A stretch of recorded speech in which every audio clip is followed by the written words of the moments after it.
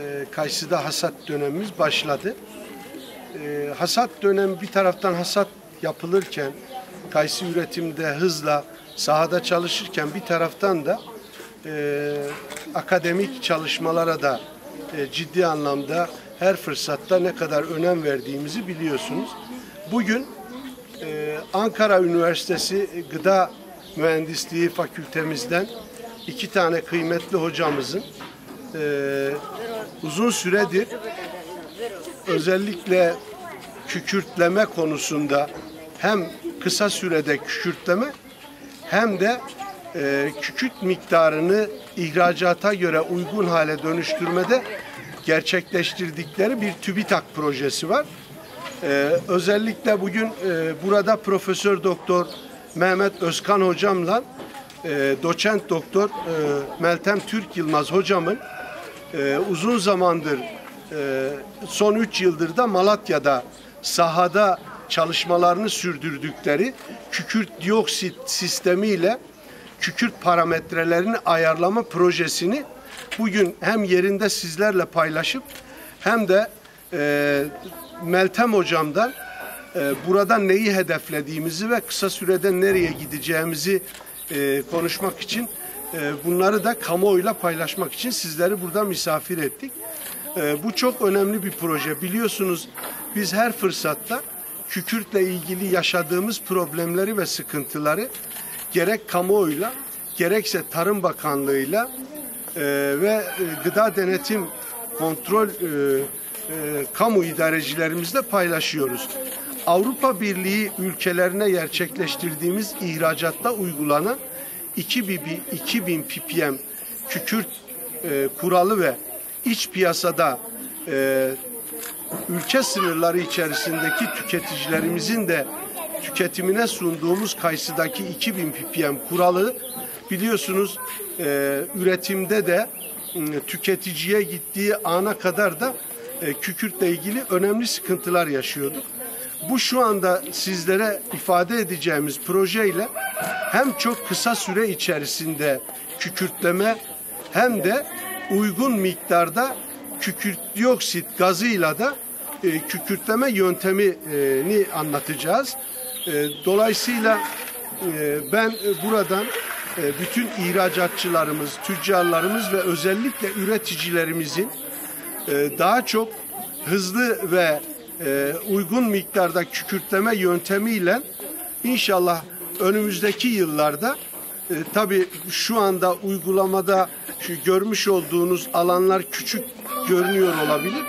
Ama gele, gelecek yıl daha büyük kapasiteli deneylerle, denemelerle e, hem uygun e, kükürt miktarının uygun olduğu hale dönüştürerek hem de e, çok hızlı bir şekilde kükürtleme yapacağız. Bu yapmış olduğumuz çalışmalar neticesinde hem e, işçilik maliyetlerinde ciddi anlamda bir gerileme söz konusu olacak hem de ekonomik anlamda kükürt düşürme işlemleri esnasında yaşadığımız sorun ve sıkıntıları da ortadan kaldırmış olacağız.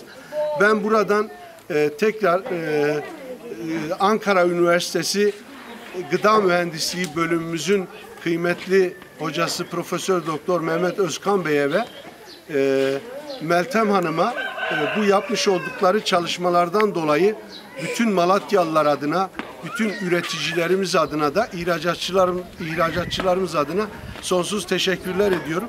Şimdi Meltem Hocam da size uygulamada e, nasıl işlediği konusunda bilgi verecek. Yaptığımız çalışmalarda geleneksel kükürtleme yönteminin en önemli eksiğinin ortamda oluşan kükürt dioksit gazının kontrol edilmemesinden kaynaklandığını tespit ettik. İçerideki e, kükürt dioksit konsantrasyonu kontrol edilemediği için de e, oluşan kükürtlenmiş kuru kayısının hangi düzeyde kükürt içereceği tespit edilemiyor. Ama bizim yaptığımız yöntemde doğrudan istediğimiz konsantrasyonda kükürt dioksit gazını odaya verebiliyoruz. Dolayısıyla odanın içinde bulunan her bir kayısı tanesine istediğimiz düzeyde kükürt dioksit gazını ulaştırmış oluyoruz. Dolayısıyla odadan kayısımızı çıkardığımızda her bir kayısı tanesi aynı düzeyde kükürt dioksit içeriyor. Yaptığımız çalışmalarla başkanımızın da söylediği gibi sadece e, kükürtleme işlemini standart bir hale getirip 2000 ppm düzeyinde kükürt içeren kayısı üretmek değil. Bunun yanı sıra yine çiftçimize daha hızlı işlem gerçekleştirmesini sağlamak için şu anda 16 saate kadar süren kükürtleme işlemini yaklaşık 2 saate kadar düşürmeyi hedeflediğimiz bir çalışma yürütüyoruz. E, bu çalışmanın sonucunda da hem e, iç piyasada e, kükürtlü kayısı üreten çiftçimizin karşı karşıya kaldığı yüklü idari para cezalarından kurtulabileceğini hem de ihracatta yaşadığımız yine kükürtlü kuru kayısılarımızın çoğunluğunun sınır dışı edilmesi gibi problemlerimiz var biliyorsunuz. Bu problemler de yine e, kükürtlü kuru kayısımızın itibarının düşmesine dolayısıyla düşük fiyattan alıcı bulmasına neden Evet. oluyor.